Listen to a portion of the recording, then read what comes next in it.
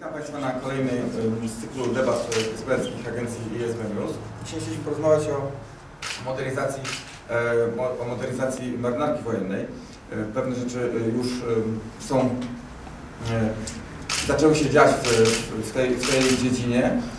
Wiemy, jakie są plany. Te plany już zaczynają budzić pewne wątpliwości. Myślę, że to jest dobry moment, żeby, żeby porozmawiać, porozmawiać na, na ten temat. Chciałem przedstawić Państwu naszych gości. pan poseł Dariusz e, Seliga, poseł e, Prawa i Sprawiedliwości. Pan doktor Łukasz e, Kister, e, ekspert Instytutu Jagiellońskiego i Kolegium Civitas. E, Oraz e, pan Andrzej Polak, redaktor e, z Gremium Media. Wszystkich. A ja się tam Tomaszem, jestem, em, jestem rektorem naczelnym Więc sobie usiądę, będzie nam łatwiej głosować. E, Chciałem prosić pana posła najpierw o przedstawienie oceny ogólnej, jak, e, jak wygląda obecny stan modernizacji. Wiemy już, że rozpoczął się e, proces, e, proces e, przetargowy.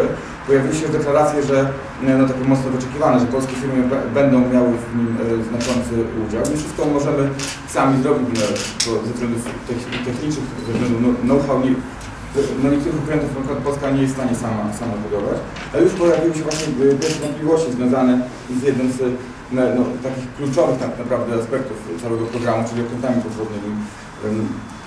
Jak wygląda e, proces e, ta- em, przetargowy w tej chwili w Polsce, jak e, powinien wyglądać?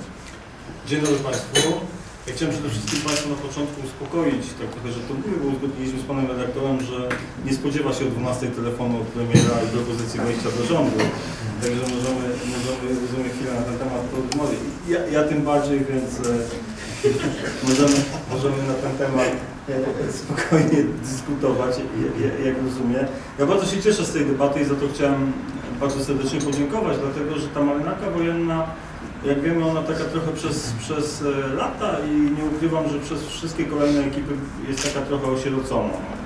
Jakby ciągle się tylko przewija sprawa Gawrona, mm, e, jakby trochę chybionych e, inwestycji i chybionych e, wydatków. Natomiast my dzisiaj, to chciałbym podkreślić i, i nie chciałbym się na tym długo rozwodzić, bo myślę, że na ten temat podyskutujemy. Tak naprawdę nie wiemy, jaki jest pomysł na ujęcie marynarki e, wojennej w całym bezpieczeństwie państwa. Tak? Dzisiaj mówimy tylko o pewnych zamówieniach, o pewnych, e, o pewnych inwestycjach i, i, i- i o tym, co mielibyśmy kupić, ewentualnie co moglibyśmy gdzieś wspólnie zrobić. A tak naprawdę mało dyskutujemy o tym, jaki jest pomysł na marynarkę wojenną, jaki, jak, jakie będzie ujęcie marynarki, marynarki wojennej. Bo e, ja często też podkreślałem, że ostatnie lata i nasz udział w misjach w Iraku i w Afganistanie przykrywał trochę sytuację i to, co się dzieje w kraju. Dzisiaj mam wrażenie, że powoli schodzące misje powodują, że skupiamy się nad tym i widzimy ostrzej e, to, co się zadziało przez te lata w Polsce z polską obronnością, a jeszcze bardziej można powiedzieć, że to, co się tak naprawdę nie zadziało. I chyba trochę jest tak z marynarką wojenną, no, raczej nie trochę, tylko na pewno, więc brak tutaj jest pewnej kontynuacji wizji i spójności na rozwój marynarki wojennej. Myśmy jako państwo się skupili E, bo tego y, wymagali, oczekiwali od nas sojusznicy na siłach specjalnych. No, I to bardzo dobrze, bo, bo mam wrażenie, e, ale też takie są opinie międzynarodowe, że tutaj poczyniliśmy krok milowy, jeśli chodzi o, o siły specjalne. Troszkę pociągnęliśmy lotnictwo, szczególnie to transportowe, e, Kasa, Herkules i te wszystkie rzeczy związane z przerzutami do Afganistanu i Iraku. No to są też doświadczenia, które zyskaliśmy. Ciągle uważam, że pracujemy i idziemy w takim w miarę rozsądnym kierunku, jeśli chodzi o, o, o lotnictwo to mm, strategiczne, czyli, czyli F-16. A tak jak powiedziałem wcześniej, marynarka wojenna, e, marynarka wojenna jest takim elementem, który nie został przez no, wszystkie rządy po kolei przepracowany. I dzisiaj to wygląda tak, że mówimy o tym jako państwo, że będziemy kupować produkt, że mamy na to pieniądze, że w budżecie są przeznaczone na te pieniądze. I stąd takie zainteresowanie jakby różnych sojuszników e, e, związanych mm, tą dziedziną polską i zainteresowanie tym, żebyśmy te produk- produkty kupili najlepiej spółki. No, mamy, mamy ogromny problem, bo jest problem upadłej stoczni marynarki wojennej. Mamy problem, bo jest niedokończony i zawieszony program, bardzo zaawansowany program e, Gawrona. Nie mamy oczywiście na to środków, bo też pragnę przypomnieć, że e, jak Państwo śledzą, rzadko można było spotkać opinię premiera Tuska przez ostatnie 6 lat na temat polskiego wojska i polskiej obronności e, i, i, i polskiego pomysłu na tę obronność. I to dzisiaj chyba trochę skutkuje tym, że poza pomysłem rządu na to, że kupimy pewne produkty dedykowane dla marynarki i które marynarze by sobie życzyli, to tak naprawdę jesteśmy trochę, jesteśmy trochę zagoniliśmy się chyba tak w kozi bo pomysł, pomysł przetargów i pomysł mm, produktowy, czyli kupienia tego nie, nie ma też wpływu na polski przemysł obronny. Pragnę przypomnieć, że nie mamy swoich hut, nie mamy stali, to jest ogromny, to jest ogromny dzisiaj dla nas problem, a, a to jest jeden z elementów, który powinien mm, z tym rozwojem E, i, i, i z tymi projektami modernizacyjnymi być związany. Mm, I tak naprawdę dzisiaj do końca też nie wiemy, jakie minister finansów będzie dedykował środki. Ja, ja wiem, jakie środki budżetowe są i jakie, jakie niby minister zapewnia, że będą wydane. Osobiście trochę, trochę w to nie wierzę, tak? Bo to 9 miliardów czy 10, które, 10, prawda, które mają być przez kilka lat dedykowane dla marynarki, to tak naprawdę to połowa z tego mm, to, to jest część, że moglibyśmy zakupić e, no, tam średniej klasy dwa okręty podwodne. I, I, co dalej? A tutaj w tych zakupach tych projektów dla marynarki e, jest kilka.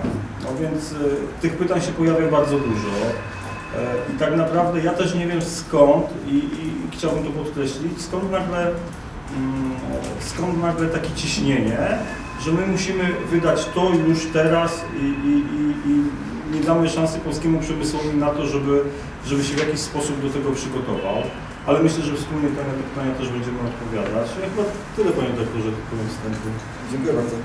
Chciałem w takim razie poprosić pana rektora Natalego o ocenę, mm, dlaczego, e, jak pan sądzi, dlaczego e, ten e, proces zapowiadany, jeśli chodzi o mm, przetargi, się rozpoczyna i, no są sygnały, w to już wygląda na dosyć pewne, że, że terminy nie zostaną dotrzymane, ponieważ no, zapowiada, zapowiadane jest, że w przyszłym roku wszystkie, te, wszystkie przetargi już będą uruchomione.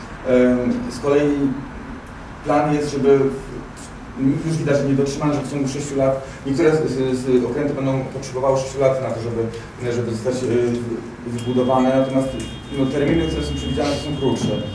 Jak to da się spiąć? Czy podstawowy problem dlaczego w ogóle przetargi są rozpisywane, dlaczego wreszcie marynarką wojenną się zajęło państwo polskie i jest budżet na to, jest taki, że około 2015 roku większość marynarki straci zdolność operacyjną, czyli nie będzie nadawała się do walki, mówiąc już wprost. A do 2020 na pewno. W związku z tym trzeba ją czymś zastąpić. Po raz pierwszy jest okazja, żeby postawić zasadnicze pytanie, po co Polsce marynarka, jaka marynarka i jaka ma być rola marynarki w obronie narodowej. Dlatego, że po 90 roku, po uzyskaniu niepodległości tego pytania nigdy nie postawiono. Marynarka nie była modernizowana. Owszem, pojawiły się nowe okręty, ale był to okręt Ksawery Czarniecki, okręt zasadzie przypadkowo przekazany marynarce, ponieważ rosyjski odbiorca go nie chciał, więc stocznie go dała darmo marynarce wojennej w zamian za to, że będzie remontowany w tej stoczni. Okręty klasy Koben norweskie, czyli dość stare, z lat 60. konstrukcja i wtedy wodowane, a więc też przypadkowo pozyskane, bo je dostaliśmy. No i dwie fregaty rakietowe, również stare, konstrukcje z lat 70. amerykańskie, również nam podarowane. Więc braliśmy i w ten sposób była układana niejako ta flota wojenna, natomiast nie postawiono jej celu strategicznego, po co ona w ogóle ma być. I teraz okazja jest znakomita, żeby to zrobić i potem odpowiedzieć na pytanie, jakie okręty kupować, czy ten program jest dobry i czy polski przemysł może w nim uczestniczyć, czy nie może. Także proponowałbym takie rozmowy od Adama i Ewy, czyli po co w ogóle marynarka wojenna. I jeśli się słucha admirałów, byłych głównie, ale i aktualnych dowódców marynarki wojennej, to imperium oni swoje widzą ogromne. Na przykład słychać było głosy o tym, że Polska powinna pozyskiwać niszczyciele rakietowe, nawet z rakietami SM-3. To jest kompletnie nierealne, ponieważ Amerykanie tej technologii nikomu nie przekażą, a tym bardziej Polakom. Słychać było o potrzebie budowy fregat. Zarządów Millera pojawiła się koncepcja budowy siedmiu korwet rakietowych. Nie stać nas było nawet na jednym, co widać po programie Gavron, a dopiero na siedem. Program był redukowany do trzech, aż w końcu nie ma żadnej, będzie patrolowiec wyłącznie. Więc wydaje mi się, że zmieniając nasze możliwości, nasze realne potrzeby, także zmieniającą się doktrynę wojenną samego NATO. Pan poseł mówił o Afganistanie i y, Iraku, Afganistan natowski, Irak niekoniecznie czyli ekspedycyjności sił natowskich. To jest nacisk na obronę terytorium NATO i działanie na teatrze działań, w którym NATO funkcjonuje jako blok militarny. I w takim ujęciu polska flota, moim zdaniem przynajmniej, jak innych, nie musi mieć zdolności ekspedycyjnych, czyli nie potrzebujemy okrętów, które będą działały na Atlantyku, Pacyfiku, a nawet na Morzu Śródziemnym, bo Polska uczestniczyła w misjach na Morzu Śródziemnym. Posłuchaj się okręty podwodne i fregaty, wymiennie, tylko uczestniczy. Natomiast jeśli patrzy się na nasze twarde interesy, czego my musimy bronić, gdzie musimy mieć flotę, to jest to wyłącznie Bałtyk. Musimy bronić dojścia do głównych portów, do naftoportu, do portu rozładunkowego Gdynia Gdańsk, do przyszłego gazoportu w Świnoujściu. Musimy mieć zdolność do obrony antydesantowej, obrony naszych przybrzeżnych, więc zwalczania okrętów podwodnych, czy wszystkich innych środków podejścia. I to tyle, tak naprawdę. Nie potrzebujemy w tym fregat rakietowych. Zaryzykowałbym twierdzić, że nie potrzebujemy korwet rakietowych, a wystarczą nam dobre okręty obrony wybrzeża, dobre lotnictwo morskie, które pozyskujemy, będziemy pozyskiwać, dobrą obronę rakietową wybrzeża, którą pozyskujemy, czyli mamy już jeden, jeden y, dywizjon rakietowy, będziemy mieli drugi. Jak spojrzymy na rozmieszczenie tych obecnego i przyszłego, w zasadzie całe terytorium Bałtyku jest pokryte rakietami polskimi, czyli jakikolwiek okręt zbliży się do naszego wybrzeża, jest duża szansa, że zostanie zniszczony albo uszkodzony przez y, systemy rakietowe.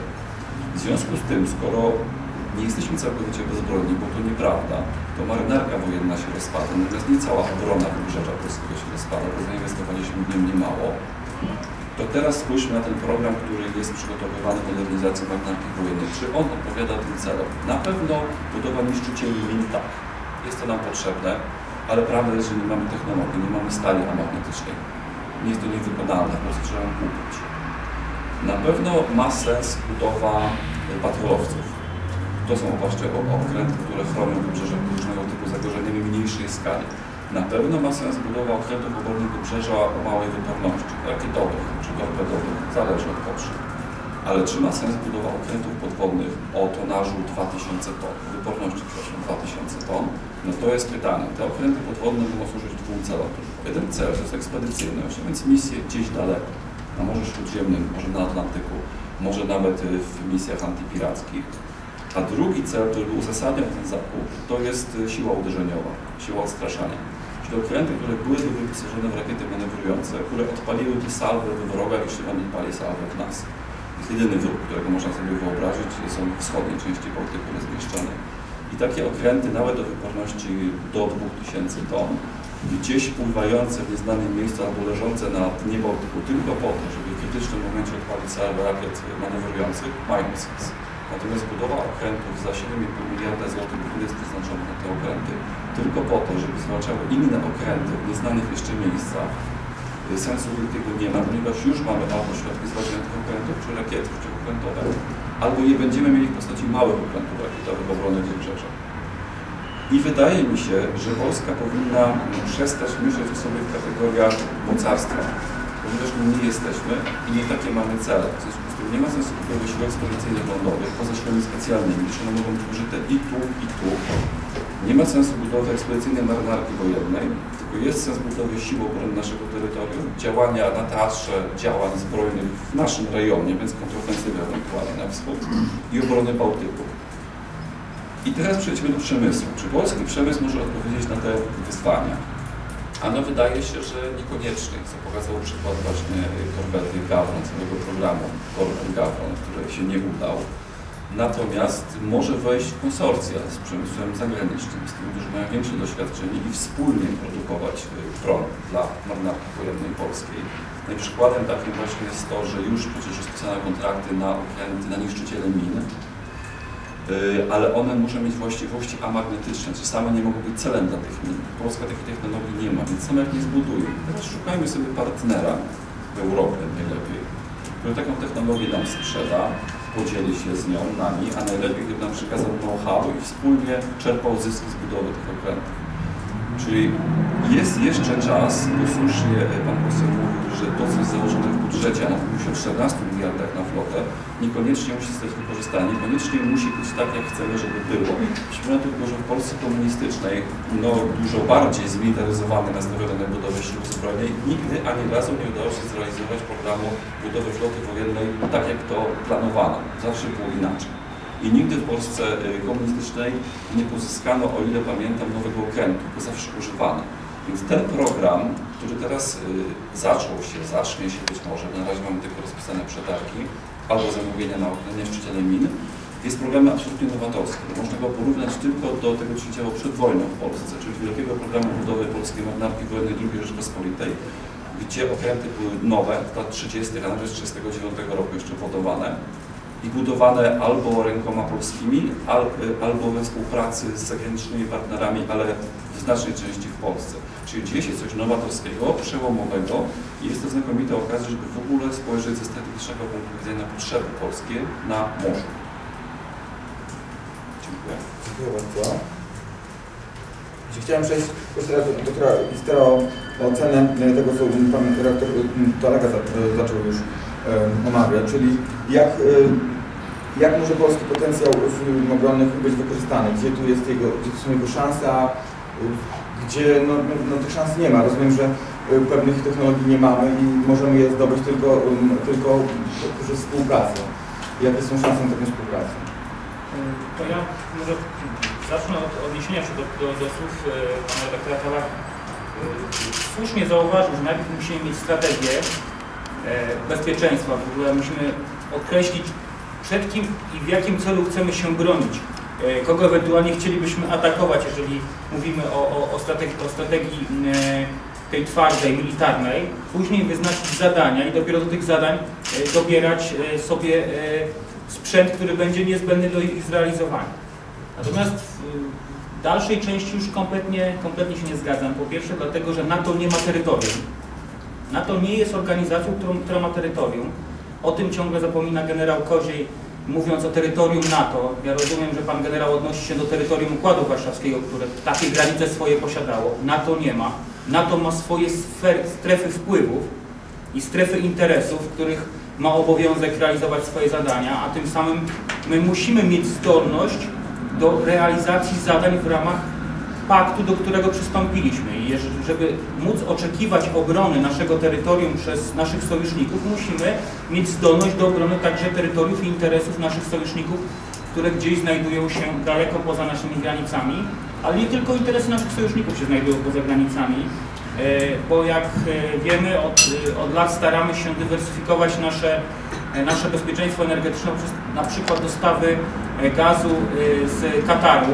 I sam ktoś będzie musiał chronić te nasze gazowce, które będą płynęły do tego Świnoujścia. Musimy to realizować właśnie dość daleko od naszych granic, po pierwsze. E, Po drugie, ochrona portów, do tej ochrony portów naprawdę wystarczą te systemy, które posiadamy, rakietowe, o których wspomniał Pan redaktor. I do tego nie potrzebujemy okrętów obrony wybrzeża, bo takie za bezpieczeństwo wybrzeża odpowiada Straż Graniczna, a nie siły zbrojne i to nie jest ich, ich domena. Granicy, granicy państwowej nie chronią siły zbrojne, tylko chroni Straż Graniczna, więc to, to Straż Graniczna powinna, powinna tutaj e, mieć kluczowe, kluczowe zadanie.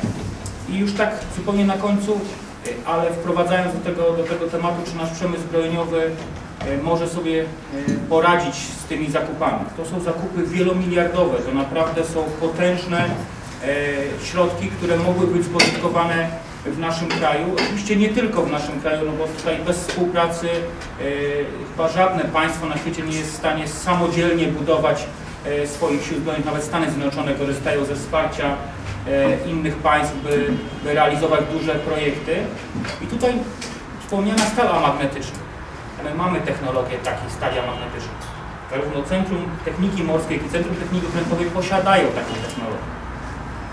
Ale pytanie, czy, czy my powinniśmy się skupiać tylko na, na, na tej stali magnetycznej? Oczywiście e, powinniśmy się skupiać na, e, na takich materiałach, które będą odporne na między innymi na miny czy, czy, inne, czy inne narzędzia e, walki morskiej, ale równie dobrze mogą być to kompozyty. Wprowadzając no, do, do tych okrętów podwodnych, o których, o których była już dzisiaj mowa, które pewnie będą takim kluczem naszej dzisiejszej rozmowy, to stala magnetyczna to jest technologia stosowana wyłącznie przez Niemców, przez niemieckie stocznie. Nikt inny na świecie nie buduje w tej technologii okrętów, a więc uzależniając się od y, stali magnetycznej, uzależniamy się od dostawcy niemieckiego, od niemieckich stoczni, które będą budowały i modernizowały nasze okręty. Bo jak wiemy, Niemcy nie są skłonni do przekazania nam jakiejkolwiek technologii, do przekazania nam jakiejkolwiek know-how, czy uratowania polskiego przemysłu stoczniowego, co ja doskonale rozumiem, bo każde państwo patrzy na swoje partykularne interesy i tu nie ma sojuszy. E, Natomiast kompozyty są tym, czym się współcześnie e, e, buduje okręty wojenne na całym świecie i może warto byłoby w tym obszarze poszukać możliwości wsparcia, dlatego że, że tych producentów już jest znacznie więcej. Tej technologii jest, jest dużo więcej, dużo różnych technologii kompozytowych, które moglibyśmy wykorzystać w naszym, naszym potencjale, ale podobnie jak tutaj e, wspomniał Pan redaktor, też uważam, że bez wsparcia e, naszych, naszych partnerów, sojuszników, no bo trudno mówić, żebyśmy skorzystali z technologii rosyjskiej, to byłoby wbrew, wbrew przyjętej przez nas, przez nas strategii, E, choć dzisiaj rosy, rosyjska technologia marynarki wojennej powraca do czasów swojej świetności, trzeba, to, trzeba temu oddać cześć, ale powinniśmy korzystać właśnie z, z wsparcia naszych sojuszników z różnych stron świata. Oczywiście e, amerykańskie technologie czy wsparcie Stanów Zjednoczonych to jest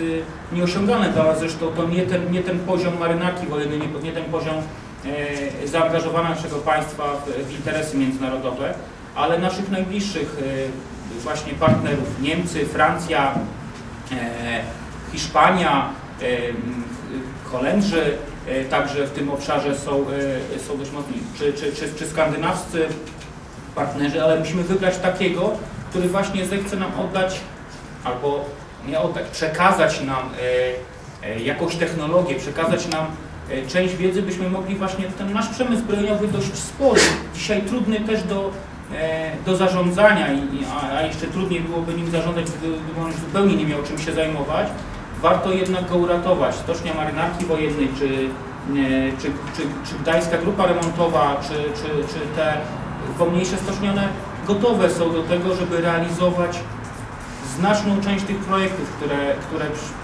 planuje Ministerstwo Obrony Narodowej. Wydaje mi się, że jedynego czego nam brakuje to woli polityków w Ministerstwie Obrony Narodowej, by nie kupować sprzęt, tylko kupować sprzęt i technologię. I tutaj e, warto właśnie obserwować to, co, co robią inne państwa na świecie, które bud- odbudowują swoją, swoją marynarkę wojenną. No, tutaj w Europie y, trudno jest wskazać y, takiego mm, porównywalnego, e, y, takie porównywalne państwo jak, jak, jak nasze, ale, ale bardzo dobrze Ameryka Południowa i państwa Ameryki Południowej i Azji dzisiaj modernizują swoją marynarkę wojenną, kupując okręty, a wraz z nimi technologię, która pomoże im za jakiś czas zaistnieć e, także w tym rynku, w tym rynku e, uzbrojenia morskiego i my, my do tego mamy, mamy możliwości, mamy zdolności, mamy naprawdę, naprawdę niezły przemysł i niezłą myśl techniczną. Centrum Techniki Morskiej realizuje naj, największe kontrakty dla, dla szwedzkich sił zbrojnych, a tym samym dla tych, które, które są stawiane za przykład, a dla, dla polskich sił zbrojnych już nieco mniej albo, albo może dzisiaj wcale. Więc to tak na początek. Dziękuję. Dziękuję bardzo za e, taką e, perspektywę, jak ten, można zmodyfikować nasz przemysł e, stoczniowy w tym zakresie. Mam pytanie, bo niektóre kraje e, znaczy postanowiły wybrać jedną, jedną ze, ze swoich stoczni i wyspecjaliz- wy- i wyspecjalizować ją w produkcji wojskowej. Czy, czy e, w Polsce taki scenariusz jest możliwy i czy, czy realny? Proszę Państwa, nie miejmy tutaj złudzeń. My będziemy atrakcyjni do, dla swoich partnerów do momentu, do kiedy będziemy mieć finanse na to wszystko. No, tutaj nie, nie bądźmy w tym wszystkim naiwni.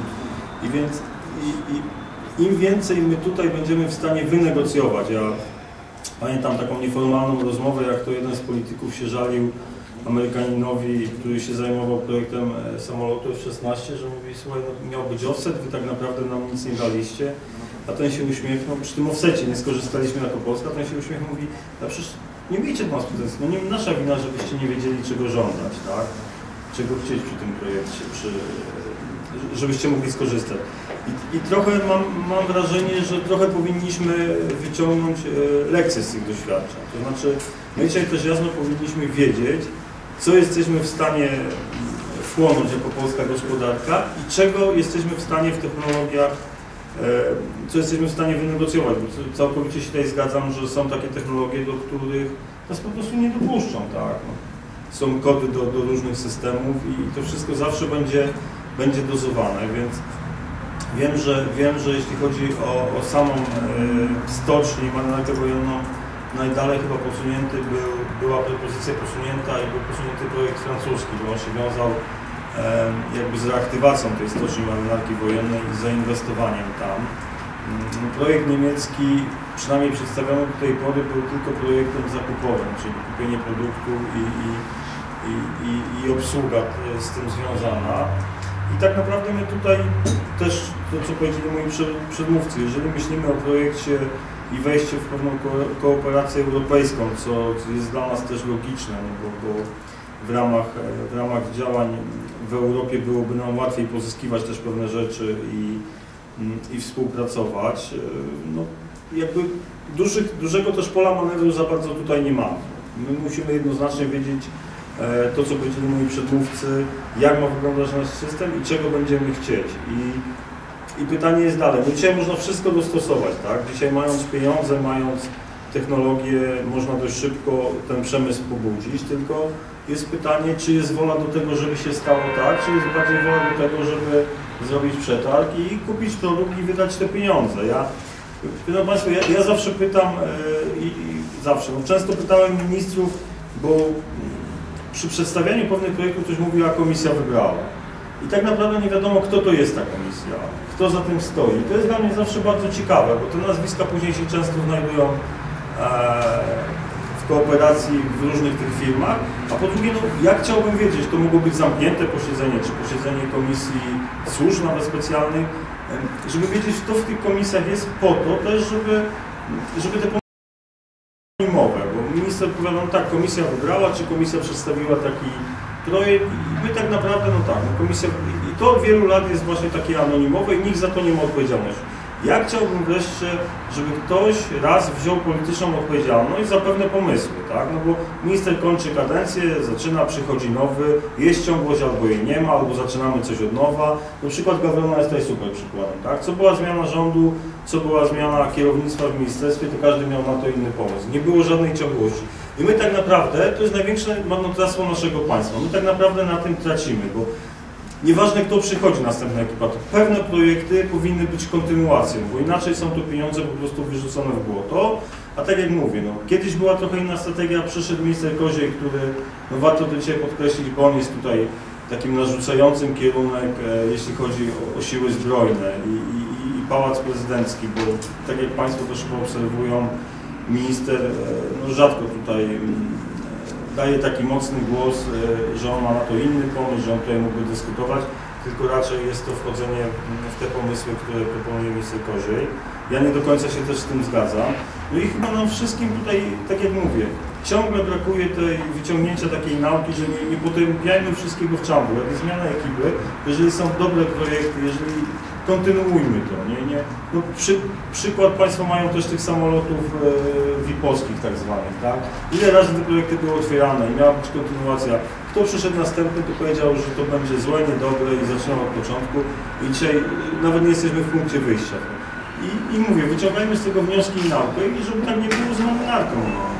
Mamy na to dzisiaj dedykowane pieniądze, próbujmy partnerów dociskać i po prostu patrzmy, od kogo możemy, no mówiąc brutalnie, więcej, więcej tutaj wycisnąć, jeśli chodzi o, o technologię i o taką perspektywę rozwoju, bo o tym też musimy pamiętać, żebyśmy nie wchodzili w produkty, które dzisiaj są już produktami zastanymi, e, które są już na rynku ileś lat, bo my musimy wydając te pieniądze e, na te projekty wiedzieć, że one muszą nam służyć 20, często 30 lat, mając te resursy. Więc to musi być technologia trochę wyprzedzająca epokę, a nie technologia, która już ileś tam jest lat na rynku i jest czasami liftingowana i, i Polacy to kupią, bo Polacy mają na to, e, na to finanse i, i oni się nie muszą z tym rozwijać. No nie, no na to nie ma zgody i ja bym wolał, żebyśmy w ogóle nie wydawali tych pieniędzy, jak mielibyśmy po prostu robić e, tego typu zakupy. No, no bądźmy raz mądrzejsi od, od konkurencji, od naszych partnerów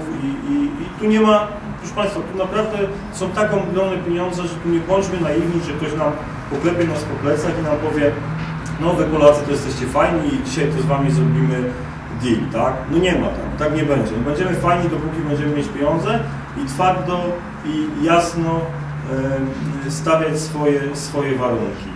Skończą się pieniądze, skończy się atrakcyjność polskiego partnera. To, to wiemy już z wszystkich doświadczeń. Dlatego, dlatego naprawdę ponad nawet podziałami politycznymi, a przede wszystkim ponad podziałami politycznymi, e, róbmy tak, żeby ciągłość projektów była, żeby nie było, że kiedyś się zmieni ekipa i wszystko będzie od nowa.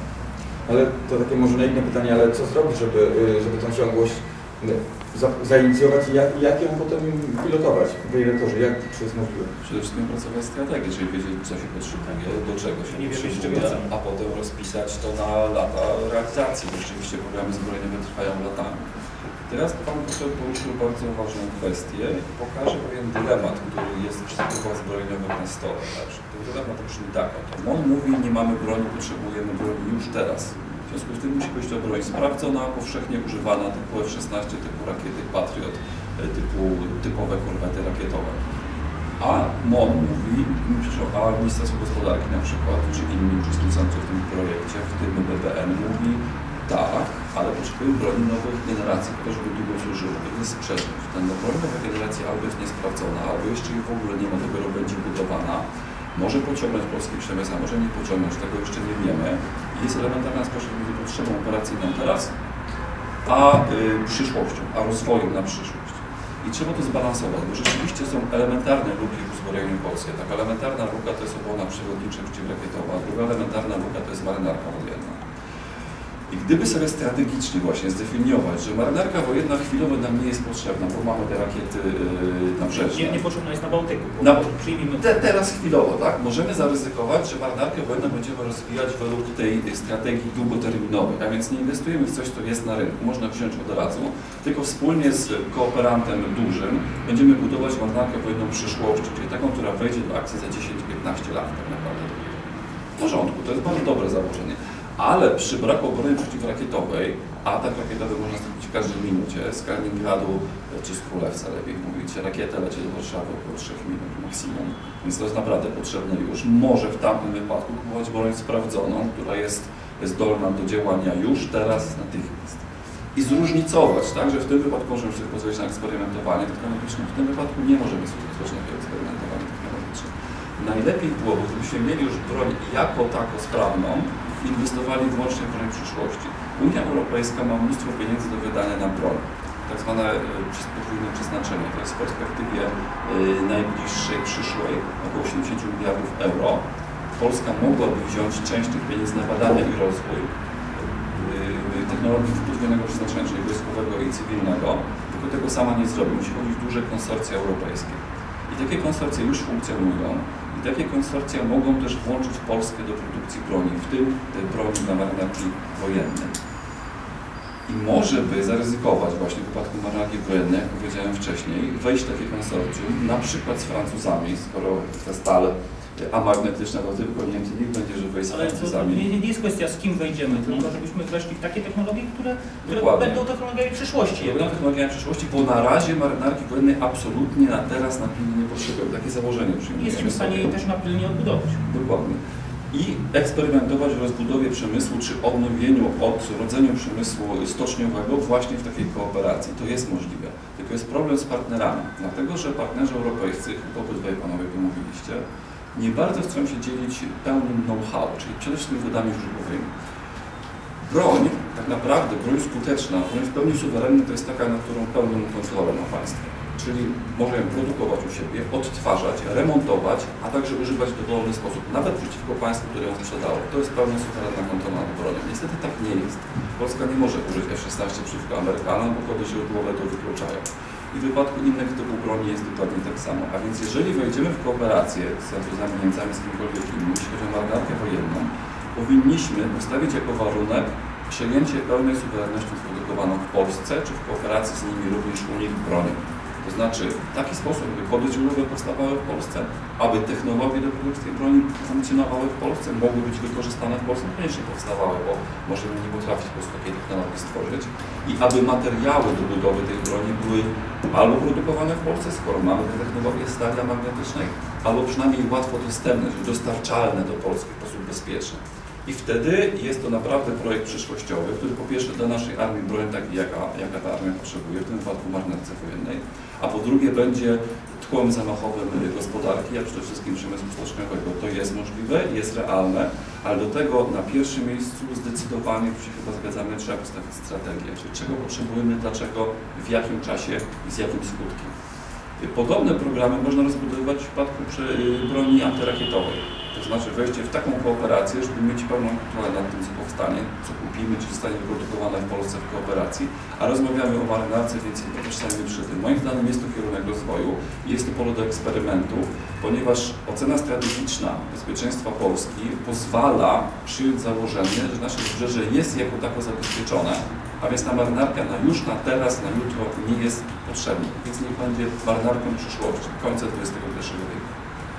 Czyli już teraz jest pytanie powstaje, no, czy potrzebujemy marynarki wojennej, która będzie super nowoczesna, czy która będzie super szybko modernizowana? Siły zbrojne potrzebują ciągłości. Wydaje się, że, że nie możemy sobie zupełnie tak odpuścić tej marynarki wojennej, nie możemy doprowadzić do jej, zupełnego upadku, bo tak jak pan redaktor w swojej pierwszej wypowiedzi y, wskazał 2015, najpóźniej 2020 to już nie zdolność operacyjną, bo zdolność operacyjną to już, nasze okręty już nie posiadają, żaden z naszych okrętów do realizacji zadań operacyjnych na morzach i oceanach. Y, Niektóre jeszcze, jeszcze wychodzą w morze, jak, jak, jak, jak mówią to znawcy, znawcy tematu. My mamy, my mamy problem z tym, że, że do, po, po 2020 już y, y, marynarze nie będą mieli czym wychodzić w morze, więc, więc to jest też problem, czyli nie możemy sobie pozwolić jednak na zupełne odpuszczenie sobie, sobie marynarki wojennej, ale tutaj warto właśnie myśleć o tej marynarce XXI wieku, takiej nowoczesnej marynarce, która będzie zdolna na najbliższe 50-60 lat. Nie jesteśmy potentatem ani gospodarczym, ani finansowym, więc tak często nie będziemy mogli inwestować jednak w, tą, w, w, w te siły zbrojne, bo pomimo wielkich chęci jakoś nam się to nie udaje od, od ostatnich kilkunastu, kilkudziesięciu lat takie duże projekty inwestować. Więc w tym przypadku też nie. Warto zbudować taką marynarkę na kolejne 50 lat. E, tak też czynią e, państwa, które mają podobną specyfikę do, do naszej. Ale tutaj właśnie potrzebujemy takiego partnera europejskiego. Najlepszy to będzie ten europejski, bo nam najbliższy i, i, i, i realia też militarne e, zbliżone, który nam pozwoli w zakreślonym, ale, ale właściwym czasie odbudowywać przemysł stoczniowy, od- odbudowywać przemysł y, wysokich technologii, który możemy odbudować, bo jednak specjalistów, jak się okazuje, y, którzy na świecie y, sukcesy odnoszą, mamy, mamy wielu. E, Odbudować ten przemysł, a jednocześnie e, próbować budować własne, własne nowe technologie, własne e, zdolności. I tutaj no, pytanie jest też kluczowe, czy, czy, czy my chcemy to zrobić, bo jeżeli ministerstwo dzisiaj wskazuje, że będzie wydawało pieniądze, czyli to, co pan poseł wskazał, że już mamy pieniądze na wydanie, więc kupimy to w przetargu, czyli nie mamy strategii, coś chcemy kupić, tylko nie bardzo wiemy co, nie wiemy, czy to będzie nowoczesne i nie wiemy, jakie będą skutki tego, e, co zakupimy, więc może ten dłuższy okres modernizacji byłby też czasem na to, żeby jakby modernizując nasz przemysł stoczniowy, modernizując y, technologię, do tego czasu, nim to nam się uda, wymyślimy strategię, która, która ma rządzić e, polskim bezpieczeństwem. Wtedy ten, ten czas i, i, i pieniądze będą wydane właściwie, bo dzisiaj wydaje mi się, że, że tak jak Pan poseł wskazał, że jakaś grupa osób w jakiejś komisji przetargowej coś wybierze, to jestem pewien, że to nie będzie nijak odpowiadało naszym potrzebom, no bo nie dlatego, że, że te osoby są niekompetentne, tylko dlatego, że my nie mamy określonych tych potrzeb, więc jak nie mamy określonych potrzeb, no to co my chcemy, chcemy kupować? I nieobecny dziś komandor Dura w swoim, każdym ze swoich, ze, swoich wypowiedzi, w każdym ze swoich artykułów to na to wskazuje, że w obszarze marynarki wojennej to my w ogóle nie wiemy po co chcemy utrzymywać marynarkę wojenną i jakie ona ma zadania realizować na morzach i oceanach. Y, To jest coś kluczowego, ale chciałem jeszcze w tym momencie właśnie odnieść się do tego, co Pan redaktor wskazał, czyli projekty badawczo-rozwojowe. E, Zresztą Pan poseł e, również, e, również na to wskazywał. My w Polsce mamy problem też z projektami badawczo-rozwojowymi. Nasz przemysł zbrojeniowy i te jednostki badawczo-rozwojowe e, Ministra Obrony Narodowej są już też tak skostniałe, tak pozostawione w dawnym systemie, a w szczególności pozbawione tych strategicznych zadań, że od 1989 roku ani jeden projekt badawczo-rozwojowy w naszych siłach zbrojnych nie doczekał się realizacji, a wydano na niego pieniądze, które pozwoliłyby dzisiaj na zmodernizowanie pewnie, pewnie sił zbrojnych, na zakup uzbrojenia. Oczywiście to jest też e, niedobre, jak będziemy tylko, tylko e, kupującym, ale nie udały się żadne projekty. E, projekty typu Chałbica Krab, który to właśnie jeden z tych projektów badawczo-rozwojowych w, takiej, w takim dziesięciopaku, który, który powstał w, latach 90. Okazuje się, że no jak już minister i prezydent wymusili, żeby ktoś kupił, no to się okazało, że to się po pierwsze do niczego nam nie przydaje, po drugie jest wadliwe. Więc to, tych, tych projektów mieliśmy mnóstwo, natomiast nic, nic z nich nie, nie wychodzi, więc może warto właśnie e, rozpocząć całą modernizację armii od, od modernizacji naszego pomysłu na tą armię, ale także po, pomysłu rozwojowego na przyszłość, a nie takiego, że dzisiaj kupimy ileś rakiet, jutro, jutro dokupimy do tego stare czołgi od, y, od Republiki Federalnej Niemiec, e, a, a pojutrze jakieś, jakieś okręty wylizingujemy też, też od Niemców, co jakby e, nie chodzi, że, że, że, że jest złym, złym pomysłem, może właśnie na ten okres przejściowy, tylko, tylko po co? Po co nam te okręty, jeżeli my chcemy je leasingować? No to, to, jest, to są też pytania, na które dzisiaj nie ma odpowiedzi, bo nie mamy strategii. Jak nie wiemy, po co nam okręty, znaczy ministerstwo nie wie, bo, bo pewnie specjaliści byliby w stanie określić nasze jakieś strategiczne zadania, ale politycy tych zadań nie potrafią określić, bo nie czują się dobrze w tej geopolitycznej układance. Nie wiedzą, gdzie my tak naprawdę jesteśmy. Czy jesteśmy mocarstwem, czy jesteśmy równoprawnym partnerem w NATO, równoprawnym partnerem w Unii Europejskiej, a jak dochodzi, dochodzi co do czego, to albo nie chcemy brać udziału w operacjach, albo mówimy, że się będziemy skupiali na ochronie własnych granic, ale przed tym. Chcemy te własne granice chronić. Ja rozumiem, że, że, że mocarstwowość ma na myśli Pan doktor z kabaretu moralnego niepokoju, tak? Tak, tak, tak. No, mamy takie po, pomysły. Szanowni Państwo, ja chciałbym jeszcze dodać, że politycznie to warto postawić pytanie, tak? Czy marynarka to powinien być narodowy program e, dla marynarki wojennej? To znaczy ja sobie wyobrażam to tak, że e, dzisiaj czy za chwilę, w zasadzie to już, minister obrony narodowej lobbuje, a, a zapewniam Państwa, że, że nie trzeba było do tego wielkiego wysiłku w parlamencie wśród posłów, żeby coś takiego jak na- Narodowy Program dla Marynarki Wojennej powstał, tak? E, W tym, program, w tym programie ja uważam, że powinny być maksymalnie trzy projekty, bo tyle bylibyśmy w stanie, tu dyskusja o tym, jakie one powinny być, bo tyle byśmy byli w stanie przeprowadzić.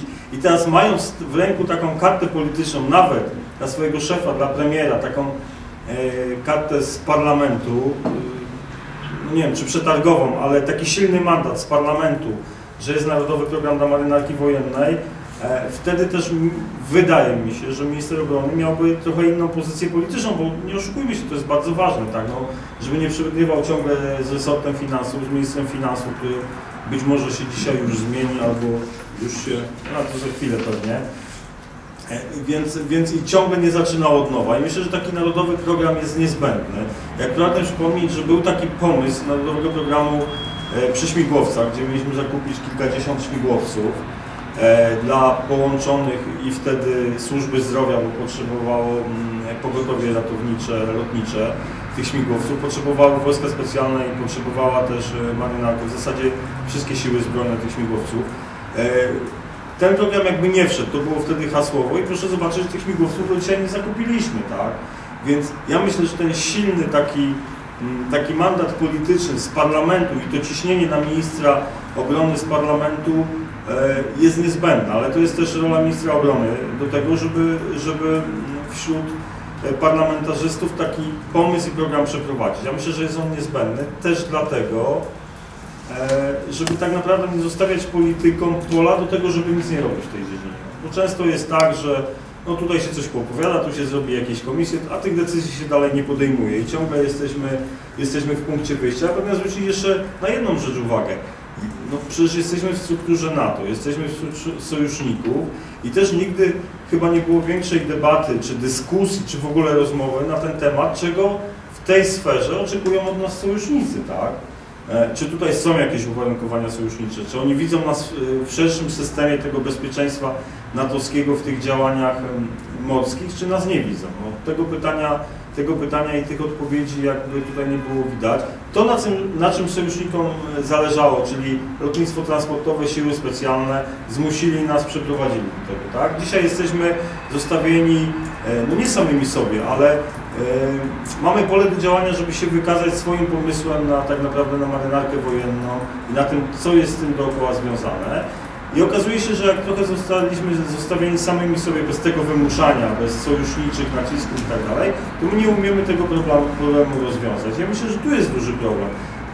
Duży problem z decyzyjnością polityków, bo wojskowi to jakby jedno, oni nam mogą e, przedstawić sferę czy marzenia, w których oni by chcieli się poruszać, to znaczy produkty, które chcieliby, ale to polityk ostatecznie musi podjąć decyzję, co my robimy. I dzisiaj tych decyzji nie ma, no, każda, każda decyzja jest spychana, odsuwana i myślę, że to jest największy problem, bo wojskowi są od tego, żeby wykonywać te rzeczy, tak? Demokratycznie wybrany rząd mówi, my chcemy zrobić to, to, to i to i wojskowi mają się do tego dostosować i ja tutaj, no, można podyskutować, tak? Ale tutaj nie ma jakby obszaru do takiej dyskusji, żeby ona się ciągnęła latami. I wydaje mi się, że brak jest tej odpowiedzialności, e, brak jest politycznej, tak? brak, jest takiej chęci wzięcia ciężaru na, na siebie przez ministra obrony. No ja oczywiście mówię to jako e, poseł opozycji, ale wydaje mi się, że minister obrony dzisiaj ma trochę też za, za słabą pozycję polityczną do tego, żeby mógł te plany forsować, a premier chyba jest e, sferą bezpieczeństwa, tak mówiąc delikatnie, średnio zainteresowany.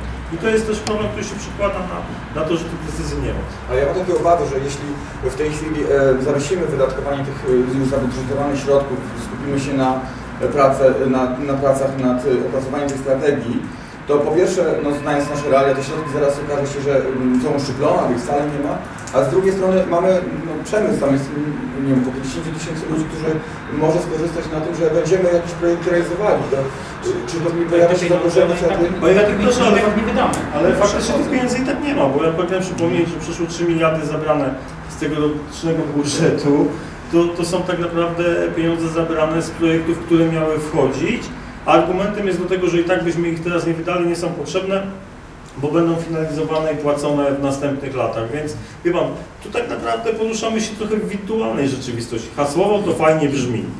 Tylko Natomiast ten przemysł to istnieje, tak? I Właśnie, co z właśnie. tymi ludźmi, co z tymi fabrykami. I przemysł obronny w Polsce ma tę cechę bardzo miłą, że jest w polskich rękach, albo państwowych, albo prywatnych. Czyli niektórzy zagraniczni wchodzą, owszem, ale cały czas tylko polskie fabryki. Jest to atut ogromny, którego nie wolno tracić.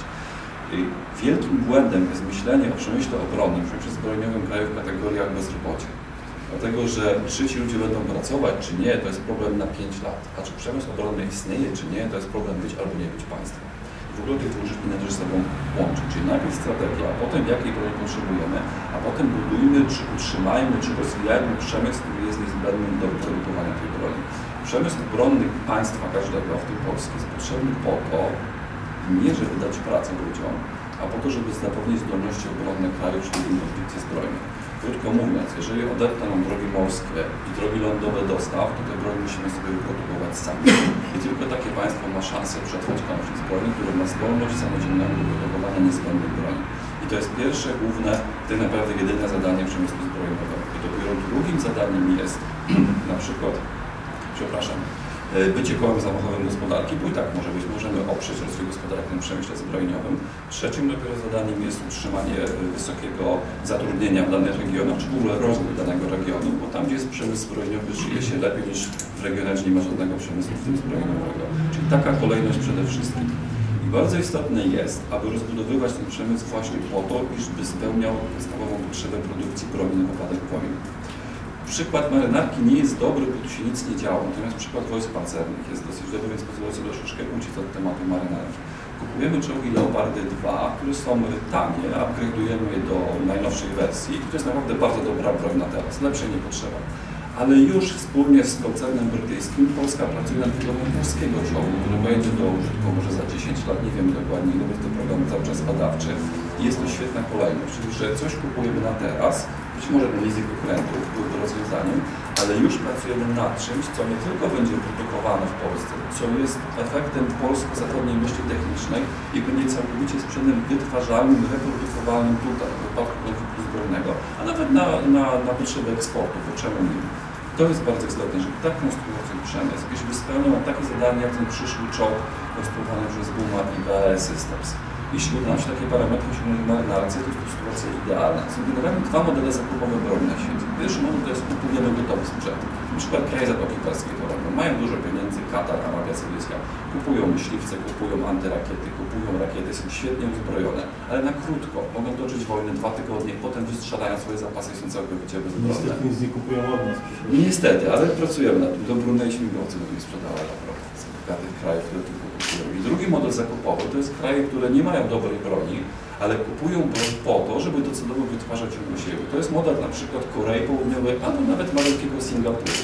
Mały Singapur, nie wiem czy Państwo wiecie, produkuje transportery opancerzone, pas sprzedaje je Wielkiej Brytanii. Po co to robi? Po to, że musi się liczyć z okolicznością taką na to, że siły morskie jakiegoś państwa, Chin, Malezji, Indonezji, kogokolwiek, odetną całkowicie ten charakter dostaw i musi samy produkować broń, którą się obroni. I to jest dopiero prawdziwe strategiczne podejście do przemysłu zbrojeniowego i takie dokładnie musimy stosować w Polsce. Jesteśmy prawie otoczeni przez morze jak Singapur, ale można sobie wyobrazić sytuację, kiedy wszelkie szlaki zaopatrzenia zostaną odcięte, już to przez rakiety, już to przez samoloty wroga, już to przez jego siły lądowe. I wtedy tu, na długi okres obrony musi dostawać broń, czyli model koreański czy turecki, Turcja też tak postępuje, jest godny naśladowania ze wszechmiar, ponieważ buduje obronność kraju, zwiększa szanse obronne, pomaga rozwijać się ekonomicznie krajowi i daje pracę. Ja, Chciałbym się odnieść do dwóch, dwóch rzeczy, które, które były poruszone i żeby one nie uciekły, czyli e, zarówno e, pan poseł, jak pan redaktor wspomniał o tych przetargach i te przetargi one gdzieś, gdzieś ciągle nam krążą i tego wydawania pieniędzy, o, o, o które pan, pan redaktor zapytał na początku. Chciałem powiedzieć tak, że te pieniądze i tak przepadną, bo ministerstwo nie jest w stanie się zdecydować, co chce kupować, w jakim trybie chce kupować, więc i tak rok do roku te pieniądze nam będą przepadały, bo e, niestety w budżecie państwa jest tak, że to, co, czego się nie wyda do, do Sylwestra, to już nowy rok tego, tego nie ma, więc trudno, żeby te e, udało się zrealizować te zapowiedzi, które, które, które szum, szumnie przedstawiał minister. Zresztą widać też w tym roku, tak? E, te- doktorze, ale powiem Ci, że jako poseł opozycji, chyba że się rząd zmieni. Tak, no chyba, że się zmieni, zmieni rząd i tutaj jakby po, po, po podejście do tego, w co, w, co, w, co, w, co chcemy, w co chcemy inwestować, no ale w tym roku zabrane pieniądze, wszystkie to są zabrane z, z tej podziałki inwestycyjnej bud- budżetu Ministra Obrony Narodowej. Ale tutaj y, y, jeden, jeden element dotyczący tych przetargów i w ogóle całego. Minister nie potrafi się decydować, czy chce realizować zakupy uzbrojenia w, w trybie ustawy o zamówieniach publicznych, czy z, wyłączeń jak y, zarzuca się y, ministerstwu niejasności przy zamówieniach publicznych, to minister mówi, że, on i tak nie musi prowadzić zamówień publicznych, może wyłączyć ustawę, ale jak wyłącza ustawę, to powołuje komisje przetargowe.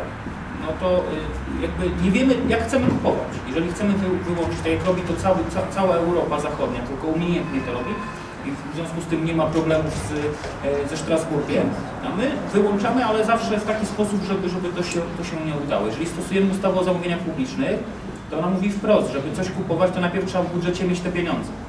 Więc jeżeli chcemy kupić coś za 2 miliardy, to nie możemy powiedzieć, że w tym roku mamy tylko 300 milionów, a, a resztę będziemy mieli za rok albo za 3 lata, no bo ustawa te, czegoś takiego nie przewiduje niestety. Takie, tak, tak zo- została zmodyfikowana, że, że gdzieś, gdzieś to się, y, gdzieś to się y, rozwleka.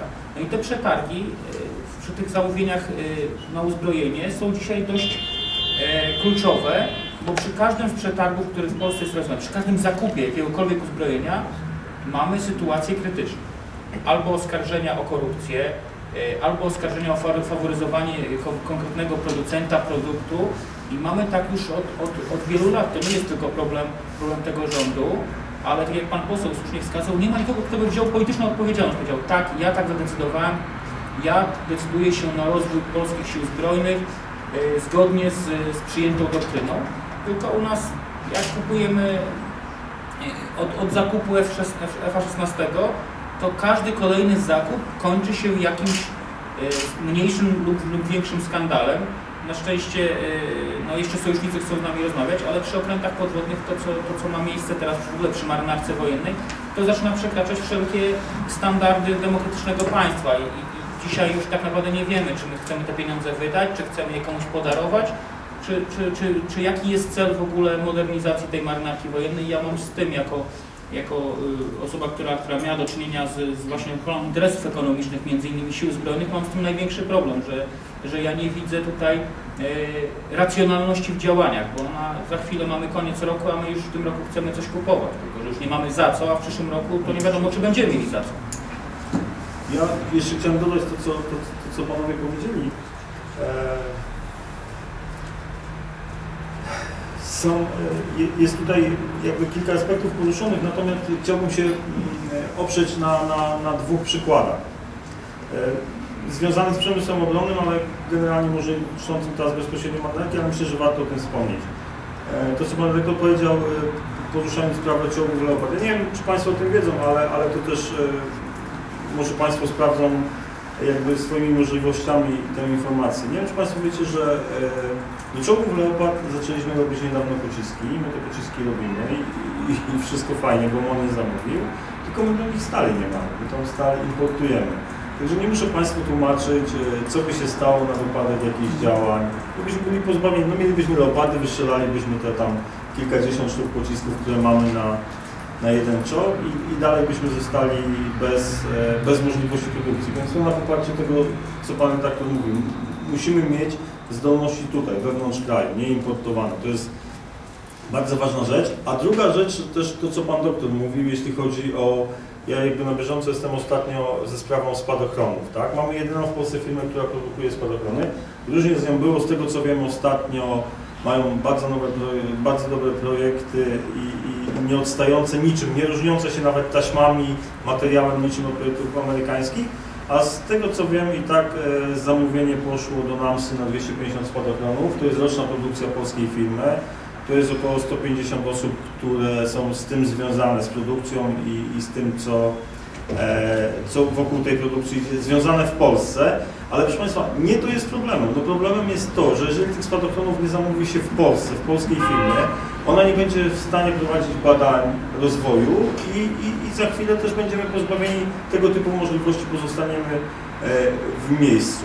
I, I to są takie dwa przykłady jakby też e, autentyczne z ostatniego czasu, gdzie, gdzie, gdzie można je podawać jako, jako element tego, co się dzieje, jak nie wykorzystujemy tej szansy, nie składamy zamówień, nie opieramy się o własne możliwości. I to jest, to jest uważam e, duży problem dla nas. Ja nie wiem skąd jest, e, znaczy trochę to wiem tak życiowo, tak, no bo można gdzieś wyjechać, e, wiecie Państwo, co się będziemy oszukiwać, no można gdzieś pojechać na wycieczkę w świat, tak, no gdzie się pojedzie do Legionowa, co się zobaczy fabrykę, która coś tam produkuje, a tutaj w świat gdzieś się pojedzie w ramach jakiejś tam promocji, nie wiem, będzie ciepło, fajnie i tak dalej, tylko że to nic nie wynika e, dla nas, bo też, też jak tu pewnie siedzimy, wiemy jakie kulisy są, e, są pewnych rzeczy. I proszę Państwa, na jedną rzecz chciałbym zwrócić uwagę, rzecz poruszaną ze służbami. Ja nawet z Panem Doktorem na ten temat e, rozmawiałem przed chwilą. E, Jeżeli mamy takie służby jak kontrwywiad wojskowy chociażby, tak, no ja sobie to wyobrażam tak, że jestem osobą funkcyjną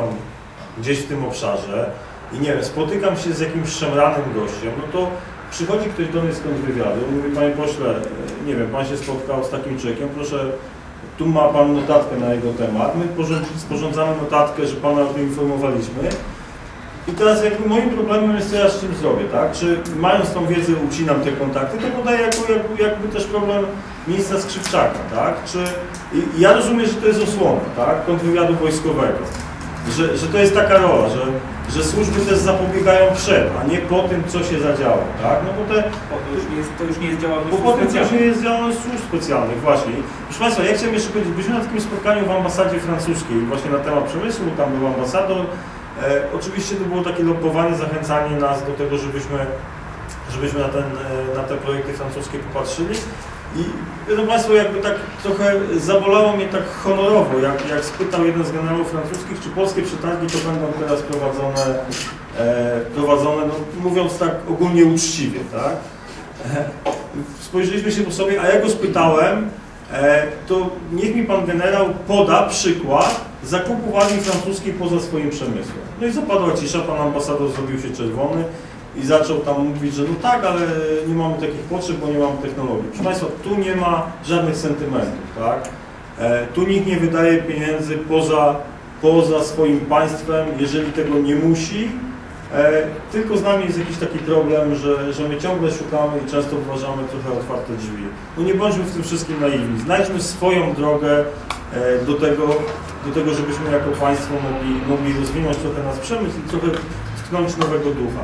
I naprawdę jeszcze raz apeluję, ponad pewnymi podziałami politycznymi, nie idźmy tu w taką głupotę, że wszyscy się musimy kłócić, bo to naprawdę musi skutkować na lata. Decyzje dzisiaj podejmowane, następcy tego rządu muszą też kontynuować i następcy tych następców, bo to są projekty 20-30-letnie, a to jest tak ogromne obciążenie dla budżetu państwa i dla podatników, że tutaj naprawdę nie ma, nie ma miejsca na, na jakieś takie rozgrywki, rozgrywki takie w piaskownicy, przepraszam. Ja chciałem, e, panowie mówić o problemach, o chaosie tak naprawdę związanym z przetargami. Tak, zmierzając już do końca, chciałem wspomnieć o, o, ostatniej kontrowersji związanej z, e, z no, z zakupem okrętów podwodnych.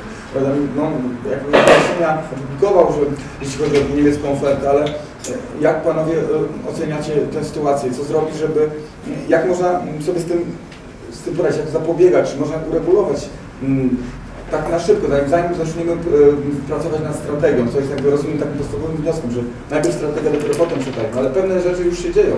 Co zrobić teraz tutaj na szybko, tak na gorąco, jeśli chodzi o ofertę niemiecką, ponieważ nie jest to oferta konfrontowana z innymi ofertami.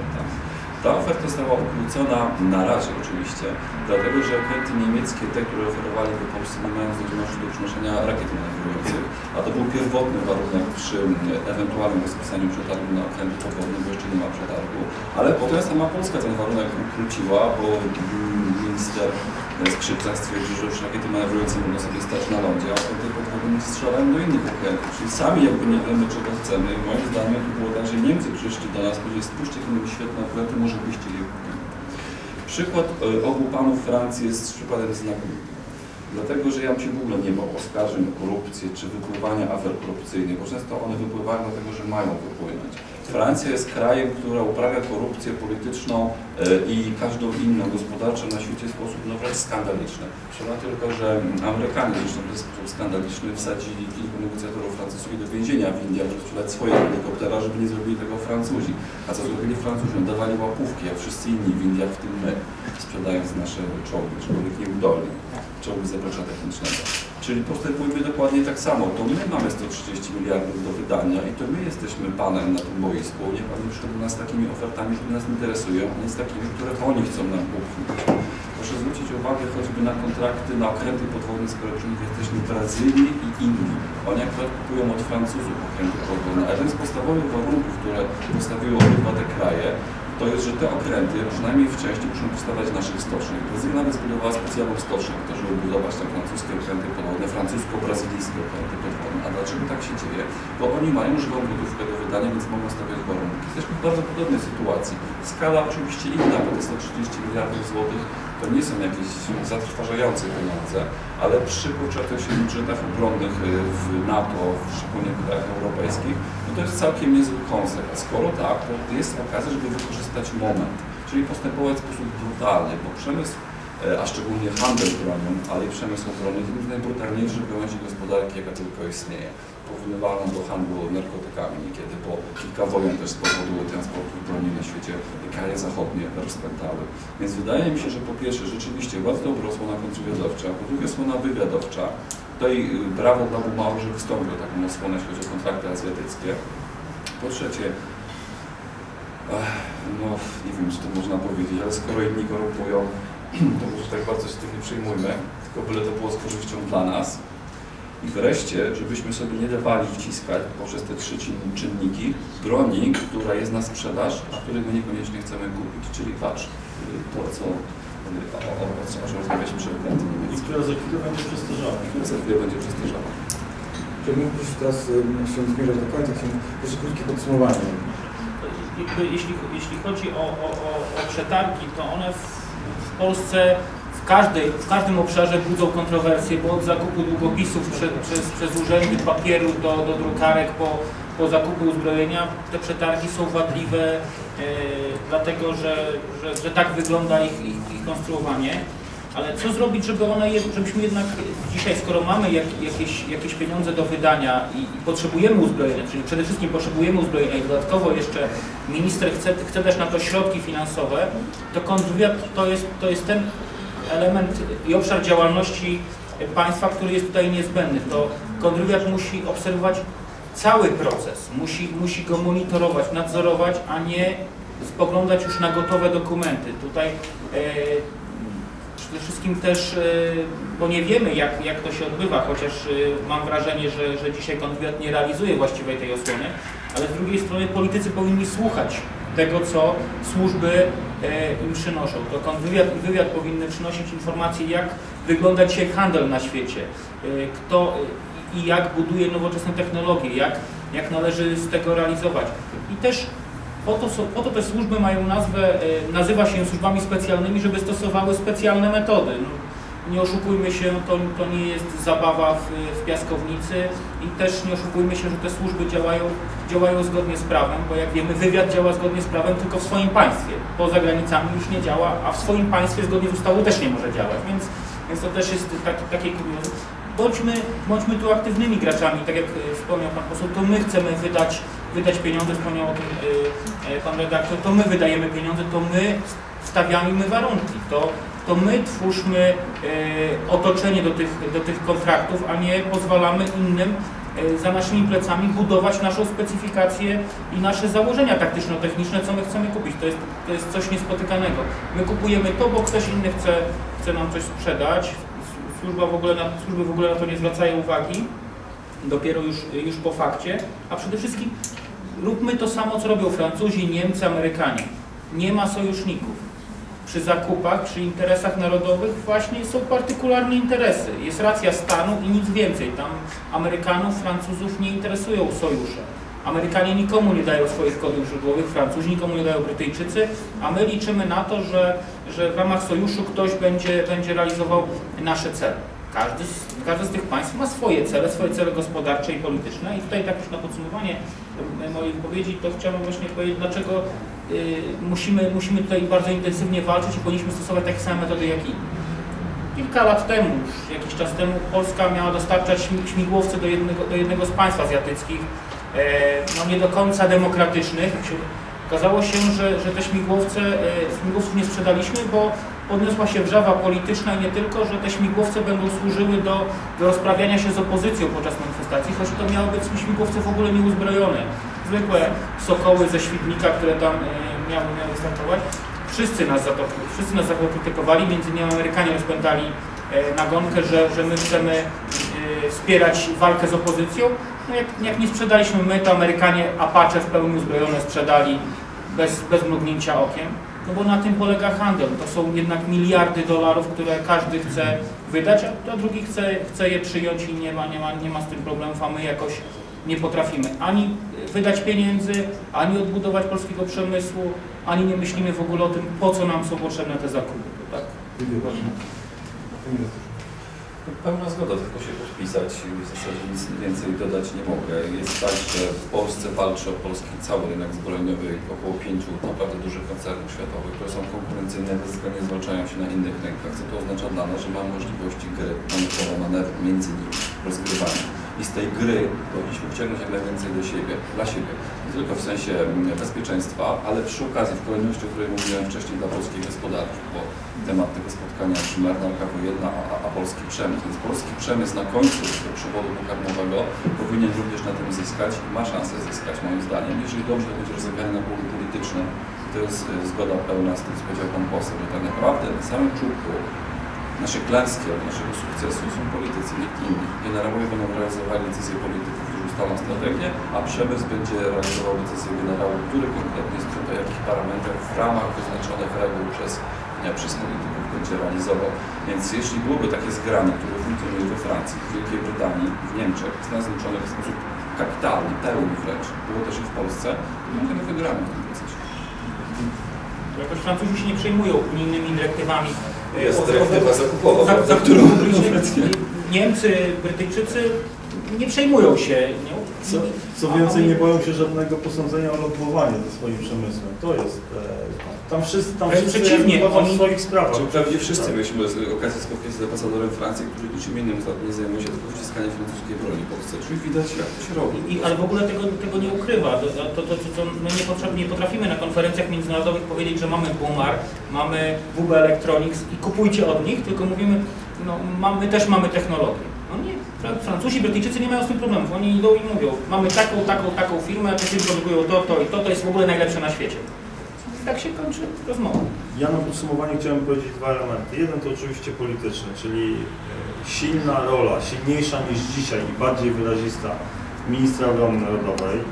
E, I to przede wszystkim polegająca na uporządkowaniu własnego podwórka, tak? Bo jeżeli dzisiaj mówimy o zakupach, a w tym czasie robimy zmianę dowódz, generalicja jest zajęta, przepraszam takie słowo, rozprowadzaniem się, kto będzie jakim dowódcą, kto kogo pociągnie, jak to będzie, bo wszyscy chyba się tym zajmujemy, wiemy jak wyglądają kulisy tego, to tak naprawdę nic dobrego dzisiaj dla armii się nie dzieje i to jest stagnacja, bo dzisiaj najważniejsze w armii są mm, działania personalne. I myślę, że to jak najszybciej, zresztą mamy przykład sprawy SKW, ministra Skrzypczaka, to są, to są też pewne sprawy, a tak, i szefa SKW, który odwołany z SKW przychodzi do kancelarii prezydenta, czyli ta rozgrywka między dużym a małym pałacem. To są elementy polityczne, które myślę, że minister e, z całą sympatią, bo naprawdę proszę mi wierzyć, jako polityk opozycji, ja w tej sferze kibicuję e, temu ministerstwu, dlatego że to jest tak ważna dziedzina, że tutaj e, naprawdę nie ma miejsca na, na, na jakby politykę. To wszyscy musimy iść w jednym kierunku, dlatego ja mówię, ministrowi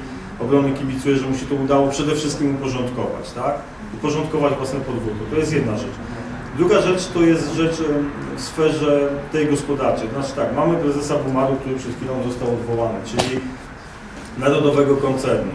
Wiem e, z takich, jak to się mówi, kulisowych rozmów, że w jednej z wizyt pana prezydenta prezes Bumaru niemalże kolanem był dopychany, żeby go dopisać do składu delegacji i nigdzie w tym składzie delegacji nie występował formalnie. Proszę Państwa, jaki my dajemy sygnał na świecie, tak? Jeżeli prezes koncernu narodowego nie jedzie jako oficjalna osoba i nie spotyka się e, w otoczeniu pana prezydenta, nie, nie mówiąc o swoich produktach, o, o pomyśle i o tym, co my możemy, to tu mamy jakiś problem. To jest druga rzecz. A czy, czy, czy to mówimy o to, to właśnie wracamy do tego. Nie bójmy się mówić i pokazywać na szerszego przemysłu, bo takie jest nasze zadanie, taka jest nasza rola też polityków.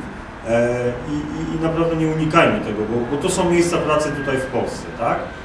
E, A trzecia rzecz, a druga rzecz jeszcze, którą chciałem powiedzieć o tym, e, rozmywanie odpowiedzialności. Znaczy, proszę Państwa, polski przemysł nie podlega pod jedną strukturę ministerialną. To jest minister obrony w jakiejś mierze, minister skarbu i minister gospodarki.